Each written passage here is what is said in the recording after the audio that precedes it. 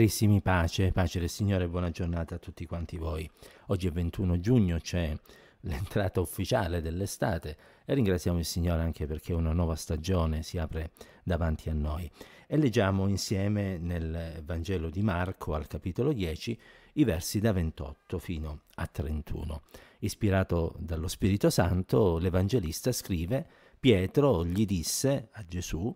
ecco, noi abbiamo lasciato ogni cosa e ti abbiamo seguito. E Gesù rispose, in verità vi dico, che non vi è nessuno che abbia lasciato casa o fratelli o sorelle o madre o padre o figli o campi per amore mio e per amore del Vangelo, il quale ora, in questo tempo, non ne riceva cento volte tanto, case, fratelli, sorelle, figli, campi, insieme a persecuzioni e nel secolo a venire la vita eterna. Ma molti primi saranno ultimi e molti ultimi saranno primi.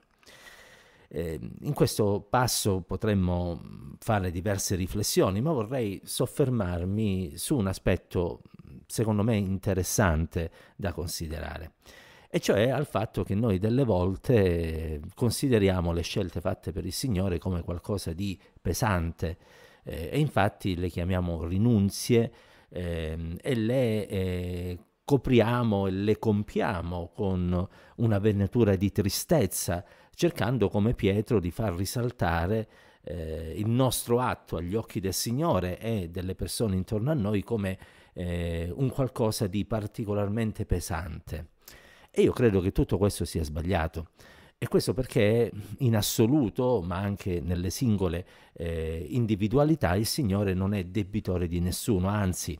egli è il Padre celeste che provvede alle necessità di quanti sperano in Lui e quelle che in realtà noi chiamiamo rinunzie eh, non sono tali, ma sono soltanto qualcosa che eh, ci apre le, eh, la porta della benedizione eh, e della ricompensa del nostro Signore. È un po' come se un lavoratore andasse sul posto di lavoro e definisse rinunzia a quella giornata spesa eh, nell'assolvere i propri compiti. In realtà è soltanto qualcosa che eh, alla fine rientra nei suoi doveri verso colui che provvede alle sue necessità tramite il salario o lo stipendio. Ora, questo non significa naturalmente che noi acquistiamo le benedizioni di Dio con il nostro impegno o col o dare la nostra vita al Signore, ma significa soltanto che se Dio ci ha talmente amato da dare il suo figlio per la nostra salvezza e ci ha liberati dal peso del peccato e ci ha dato la pace, ci ha dato e ci dà ogni giorno la forza e provvede alle nostre necessità, quale rinunzia è il dover mettere da parte le nostre tendenze carnali e peccaminose e quale rinunzia è il consacrare del tempo a colui che ha dato tutto se stesso per la nostra vita. È un nulla, è come una goccia nel mare e quindi anziché sventolare i quattro venti, quello che facciamo sperando nell'approvazione degli uomini e nell'ammirazione di essi, dovremmo più che altro pre- considerarlo come qualcosa che è naturale ed è dovuta al nostro creatore che nel frattempo, grazie al sacrificio di Cristo e alla nostra accettazione di esso nella nostra vita, è diventato anche il nostro Padre celeste. E allora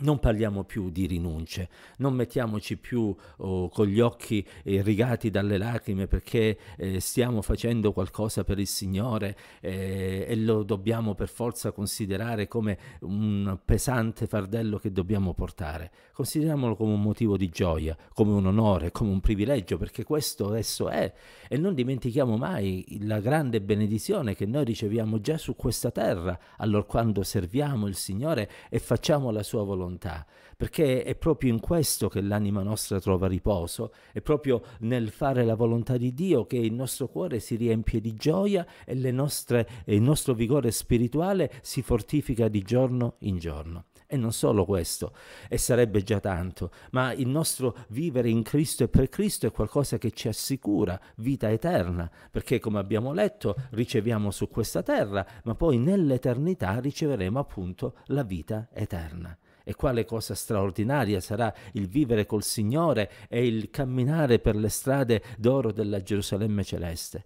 Quale glorioso spettacolo sarà ammirare Dio in tutta la sua bellezza, in tutta la sua gloria. Quale motivo di grande gioia sarà poter essere insieme ai santi di ogni tempo e l'unirci al coro dei cherubini e dei serafini che cantano le lodi del nostro Signore. Oh fratelli e sorelle, non è una rinunzia, non è un fardello pesante costante è un motivo di grande gioia perché la nostra momentanea leggera afflizione ci produce un sempre più grande, smisurato peso eterno di gloria. E allora da oggi, cari, vogliamo considerare alla luce di questo verso ogni piccolo sacrificio che possiamo fare per servire il Signore non come un motivo di dolore e di afflizione, ma come un'occasione per ringraziare ancora di più il Signore che ci ha reputati degni di poter fare qualcosa per la sua gloria e per l'edificazione della sua Chiesa. Che Dio ci accompagni ancora oggi dandoci i giusti sentimenti affinché in ogni cosa lo possiamo onorare e lo possiamo servire con la gioia che trabocca nei nostri cuori. La pace del Signore sia con tutti quanti noi.